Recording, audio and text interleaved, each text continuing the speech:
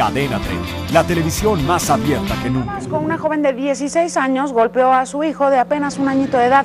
Esto fue en el municipio de Cárdenas. Personal del Hospital General de esa localidad denunció ante el DIF a esta mujer que provocó severísimas lesiones a su pequeñito.